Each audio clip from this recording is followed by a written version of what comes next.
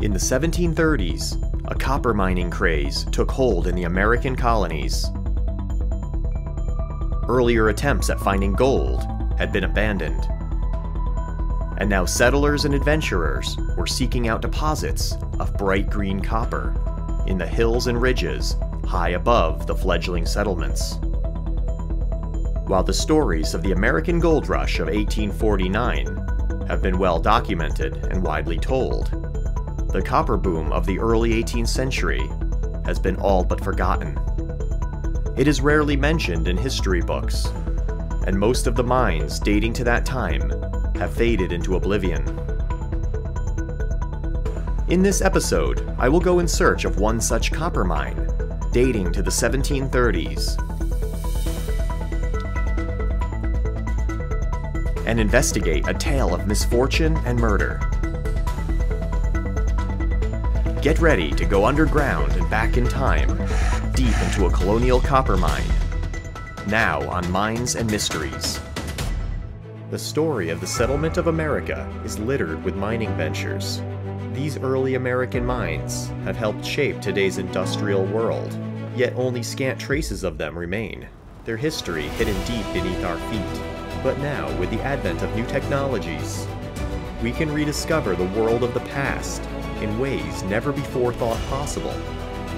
My name is Mike Sandone, and it is my goal to seek out the very oldest mines in America, the ones dating all the way back to colonial times, to uncover artifacts and minerals that help tell their stories, to document and map the tunnels that snake through the earth, and to unravel an important but forgotten piece of American history. This is Mines and Mysteries.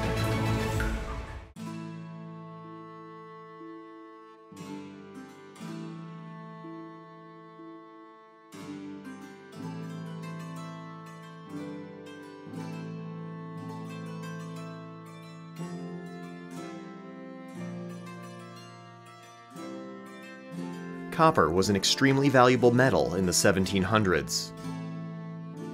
And like all valuable commodities, was being sought all across the American colonies. I have learned that the people who opened and operated these mines were usually wealthy landowners, merchants, or members of the clergy. The people who discovered the deposits were usually local farmers, hunters, or traders and the ones who would work the deposits were English or German miners, who were brought to America by the people who leased or owned the mines. I turned up copper mines dating to the 1730s in town histories of Woodbury, Farmington, Wallingford, and Manchester, Connecticut, as well as North Arlington and Belleville, New Jersey, and some vague references to copper mines in York County, Pennsylvania, and Fairfax County, Virginia. While researching the sites in Connecticut, I turned up one dramatic story that seems to be attributed to several different mines. The story goes something like this. The copper ore from the mine was barreled up and carted to Hartford, where it was then shipped to New York. There it was put aboard two ships bound for England Copper ore at the time was very valuable, and by law it could only be sold in England. As the story goes, one of the ships was captured by the French and the cargo seized.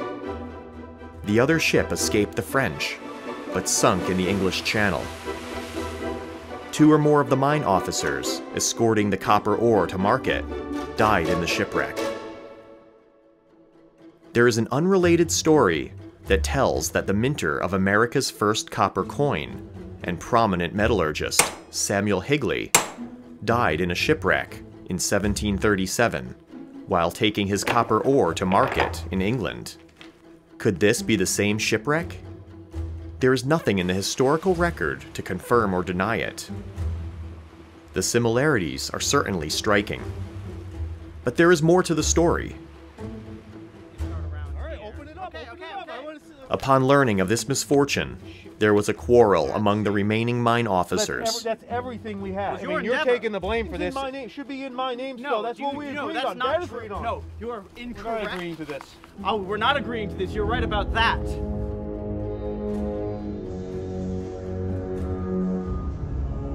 No, You good know luck. Get get in. Good luck. Backs.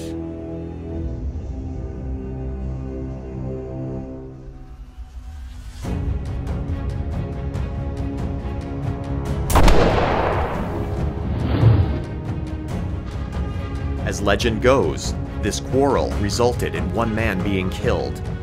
It is not known if it was a duel, an act of sheer violence, or a combination of both.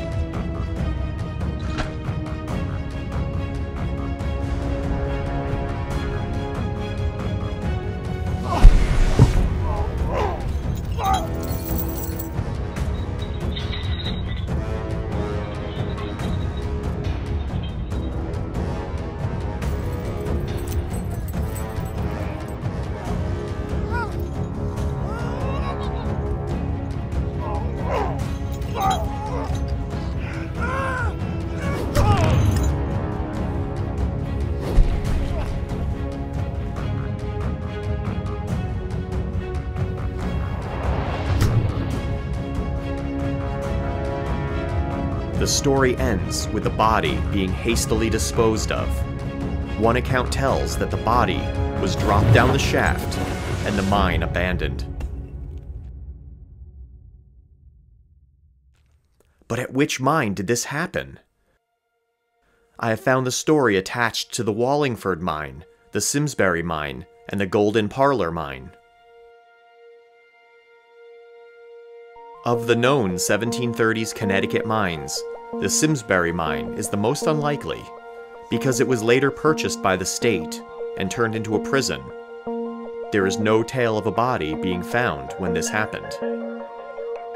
Although dating to the correct time period, the tale is not attached to the Woodbury mine, and there is no shaft there deep enough to conceal a body. The location of the Farmington mine is lost to history. That leaves the Wallingford mine and the Golden Parlor mine. There is also a copper mine in Manchester that was in existence in the 1730s. But unlike the Golden Parlor and Wallingford mines, its history during colonial times has been entirely lost. I will now set out to see which of these mines I can locate that may have a shaft where a body could be concealed. Upon visiting the Connecticut Historical Society, I turned up a rather cryptic map that shows the location of the Manchester mine. And in traditional treasure map fashion, the mine is marked with an X. The rough location of the mine is also shown on a map dated 1731. This map dates all the way back to the time when the land that is now the town of Manchester was called the Five Mile Tract. This tract of land was purchased from the son of the famous Mohegan chief and warrior, Uncas. The mine lot is clearly shown on the 1731 map, certainly a good start. But then I make an even more interesting find a map showing a shaft and an adit, with landmarks and an arrow indicating magnetic north. That's all the info I need. Overlaying the hand drawn map over a modern map yields an approximate search area. Now let's overlay that with a LiDAR map. That's what we were looking for. The LiDAR map reveals several pits, indicative of mining operations. Now let's go out and take a look.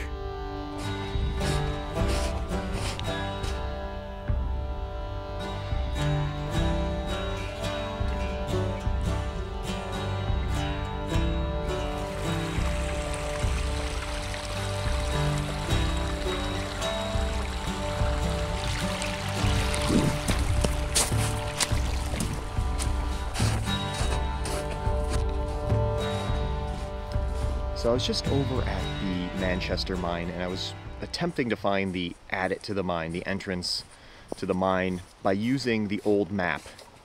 And what I did is I basically just took a bearing off the old map using magnetic north on the map.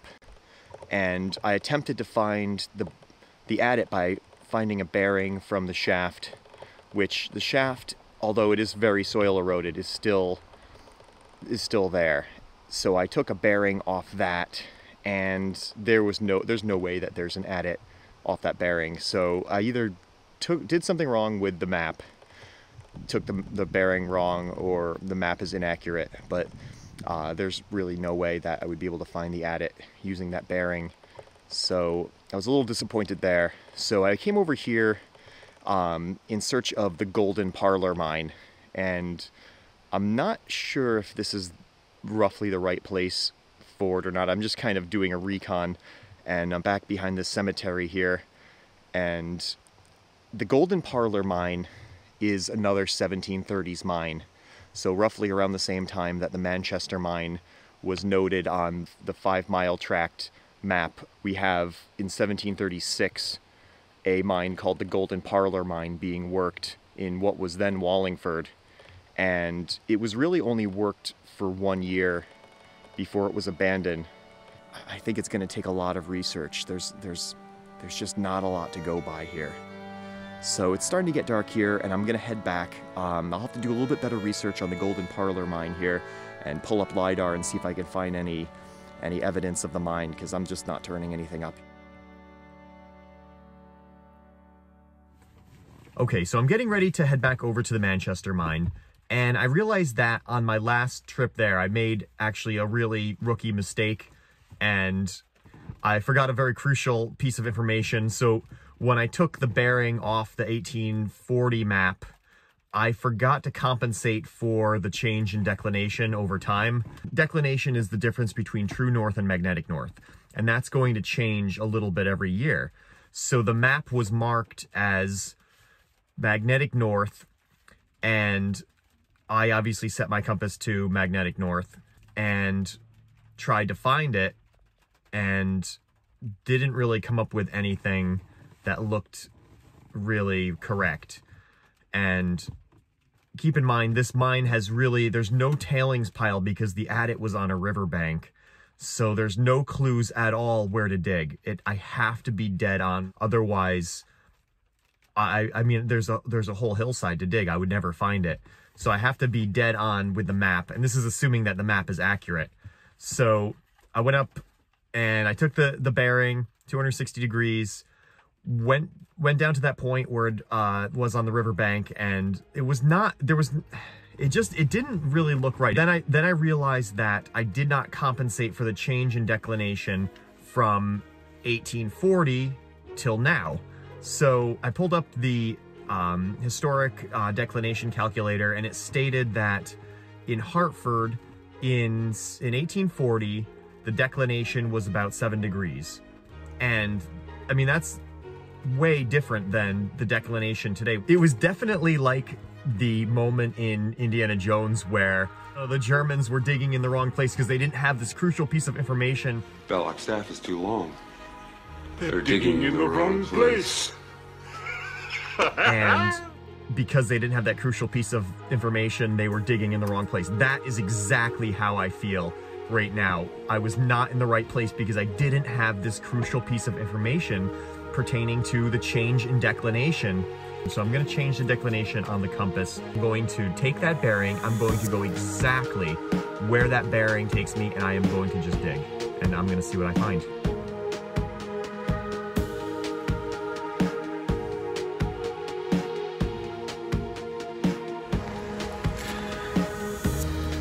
Is an interesting spot because it looks like there's some sort of wood. There's also water coming out. Interesting. And it's about the right place where the adit should be. I don't know. I mean, it could just be a tree branch. I think I should follow the water. This is definitely some kind of plank. It really looks flat on the top and we got the water coming out here. I mean, this is like, I was here for literally five minutes and I found something interesting. This is unbelievable. I'm gonna follow this in.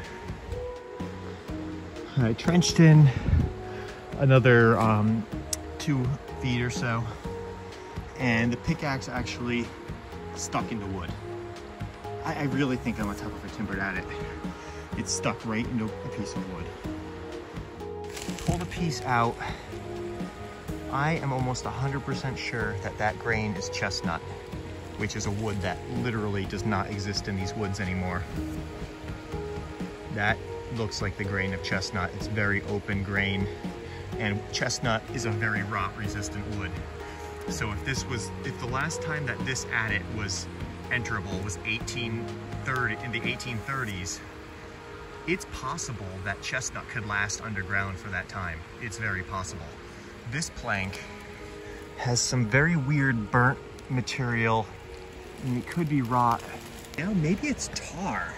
Maybe they tarred the wood before they put it in and that's why it's lasted so long. I mean, that could be the, that may well be the wood that they put in before 1731. Who knows? And I think the black stuff is tar. All right, so I, I think I'm dead on this thing.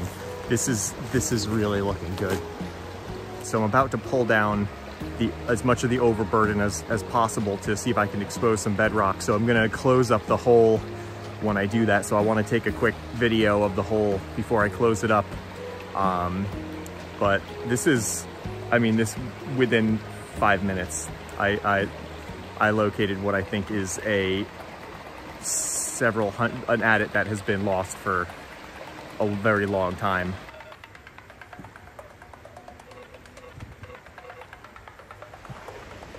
All right, so I trenched all the way up as high as I can, and I didn't hit any bedrock. Went pretty high up. I, I covered back my, my hole back up here. So, okay, now I have a different plan. So here's some bedrock here. I'm gonna follow this over. So there's bedrock. There's bedrock. There's one of my old test holes, and here's my main dig. So all I have to do is follow that over, and we will know something. Okay, I did find um, another clue that I'm looking for here. So here's the bedrock. So here's the trench. Here's the bedrock, and I followed it up this way, and here's more bedrock. As I swung my pickaxe into the ground, I felt it sink into a void. Did I just find the entrance to the Manchester mine? The adit shown on the old map?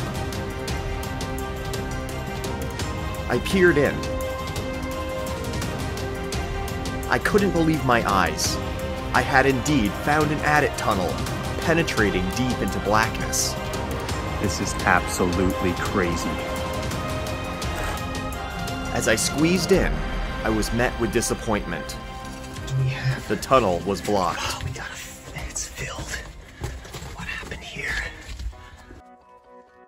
I don't feel any airflow coming through.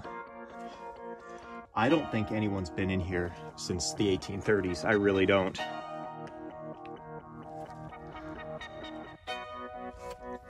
What is coating the wall?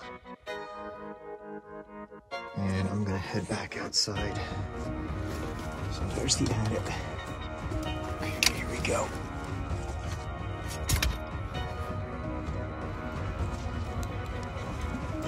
So that was an absolutely incredible find. I cannot believe that I found that. But at the same time, it wasn't pure luck. So I'm really excited to dig through this fill and see what is gonna be just past the fill. There may be tools left behind, there may be artifacts left behind from the original miners, or at least some information in the way that mine was worked that we can learn about how these colonial mines were worked. So I'm going to I, I, I'm going to mount an expedition to dig through this fill and find out what's on the other side of it.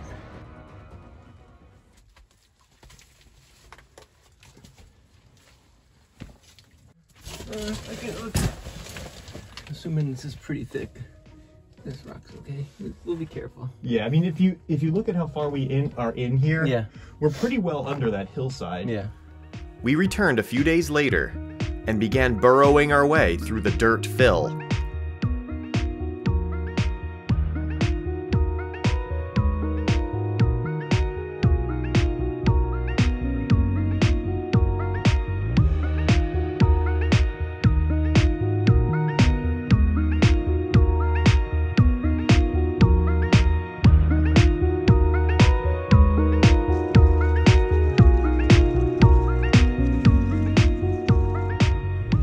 I worked my way in with a Warren hoe, a hint of blackness revealed itself. Did we actually find the other side? What?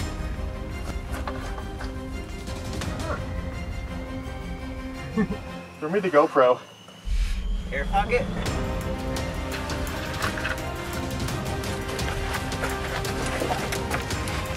What do you see?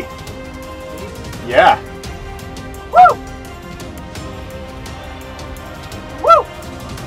Dripping water. No. yeah, right. Good God, go be quiet. No possible way. Oh my god, I hear the water dripping. All right, we're in, we're in. I mean, we're, we're okay, we're on the right track. I mean, this is like one of the very few colonial copper mines that exist in the country, and we're getting in it. Or at least we'll know something in the next hour. When you have doubts, about five minutes you always have doubts just before we find something. That's how we know we're on the right track. When Steve starts having doubts. Okay, we're gonna be close.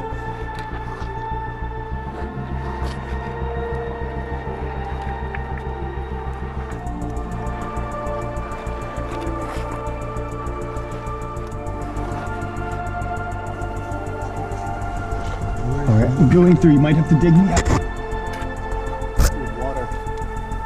Yeah, it's a nice, nice clean arch tunnel. Not that far because I'm up on it. It looks like extremely deep water. A strange feeling washes over me when I enter a place untouched for such a long time. I believe that this type of Wow. exploration is the closest thing to going back in time. Yeah, there's a deep shaft going straight down.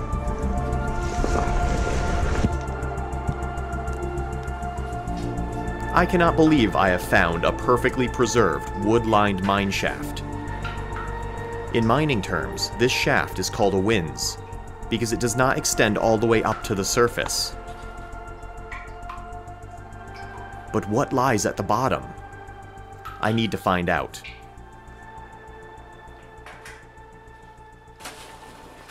Oh my god. I can't believe this.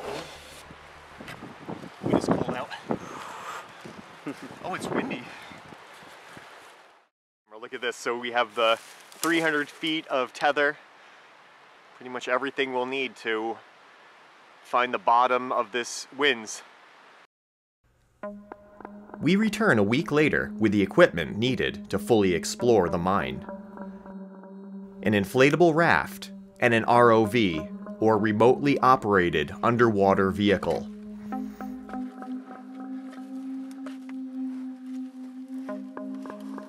Alright, so we're back here at the mine, and unfortunately the our dig has collapsed. And we're gonna need to dig through this to get to the flooded winze to send the ROV down. So uh, hopefully it didn't collapse too bad and we can dig it back out. The, you know what, Mike? It's not that bad. Good. There's still airspace going through. It's just like one of the, maybe like the sidewall collapsed, not the ceiling, Good. which is nice.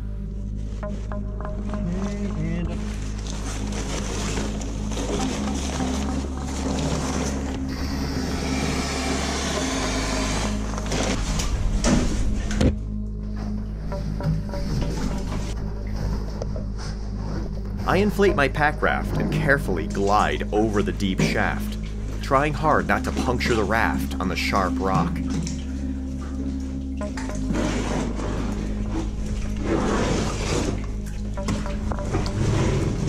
I reach the other side and peer up into what was once an open void, but has since been filled with rocks too large to move.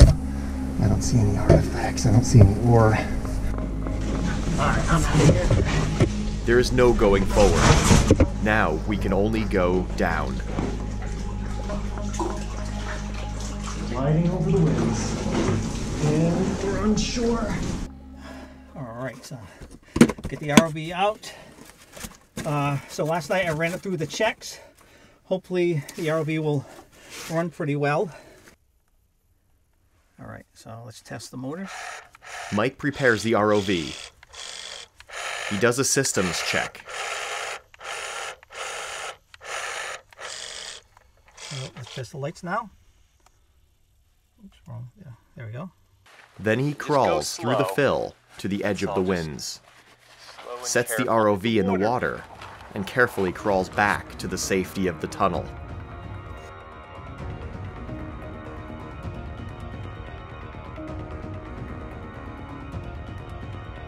We're going down.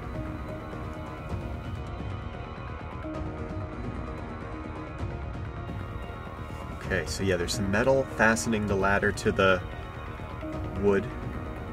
The wood is in such good condition. I can't believe how solid it is. Ooh, look at that. Mysterious. Like a shape. Look at that blackness. it's so mysterious. I'm feeling like this weird feeling of euphoria, like almost like we're going back in time here. Lot of rusty particles down there. Imagine who the last person was who climbed down that ladder. And now we're going down there with an ROV. Imagine being at the top of that ladder and looking down and seeing two men down there drilling. Oh. It's a box. Oh my god. Oh, there Oh, you can see it's hollow. oh my god. Yeah, well, we It's it's probably for ventilation. It's probably it was probably an air pipe that where they had compressed air blowing down so, to, to clear out the the dust from drilling. It's a Is that a joint there? That's that's, That's a joint. Yeah, look. at So that. that's, why it's tapered. it. Yep. See how they attach it? This is something that probably nobody in the world knows right now. how they attached square air air tubing together. Yeah, they tapered it. That's why that bottom one had a Makes taper. Complete sense now. Now we understand. See, we just we learned something that has been probably That's forgotten. amazing. And also because the deeper you you go down the shaft, you need to be able to connect new sections. You, Yep. But we just don't know if they were profitable. If you know, we don't know anything about it, and that's why we're out here doing the the exploration to find out. Oh, there's copper. There was green. So Mike is packing up the ROV, and the, My light off. the, the ROV has uh, successfully completed its mission with only a little bit of battery power left. Now we know that this exploration is complete. This this mission is complete, and we learned a lot from this trip. You could just get up and just see details that are frozen in time underwater. So we learned a couple things about the winze. It had a ventilation pipe. We learned how they joined the ventilation pipes together, which was really interesting. They actually cut a chamfer on the planks so that it was tapered, and that would fit into another section of ventilation pipe that was tapered and those sections would just sit on top of each other so that when they're drilling and blasting down there, they're able to blow fresh air in and clear the dust from drilling and blasting so that they can keep keep working their way down. I have never seen wooden ventilation pipe before in any mine. The other thing that was just amazing was how well pre- preserved the wood was. The the timbering was still showing saw marks. It was that well preserved. In the ROV, it can focus at only a couple inches away from something, and you need to get up close on it when there's silt built up in the water. And we could see vertical saw marks that were indicative of a pit saw or an up and down sawmill. It, it was that well preserved. When I imagined this ROV run, I never imagined a ventilation pipe Yeah. being in there. And we didn't think it was a ventilation pipe at first. We thought it was a timber that was holding the structure together. It was only because of the clarity of the image produced by that ROV that we could get up on that. And and of course Mike's expert piloting, we dove under and looked up and you could see the the opening of the of the pipe going up. It was it was not a solid timber like we thought. It was actually a, and Mike was the first one to observe that that there were nails holding it together. It was not a solid timber, and he got up underneath it and just maneuvered that ROV so we can get like a two second glimpse of the inside of it being hollow and and and therefore proving that this was a ventilation pipe and not a structural timber. Although there is no concrete connection between the Manchester mine and the murder story, it did exist during the same time that the story is believed to have taken place. Who knows? Maybe some of the ore was even shipped aboard the same two vessels that were lost at sea. But we will never know because all records of the mine dating to colonial times have been lost. While our expedition into the Manchester mine did not reveal any skeletons in the shaft, it did reveal information, perhaps even more valuable. First hand knowledge of how these mines were worked long ago. I will continue to seek out mines that date to the 1730s, and hopefully one day find solid evidence of the murder at the mine. But until that day comes, this fascinating story will simply remain in the realm of old Connecticut folktales.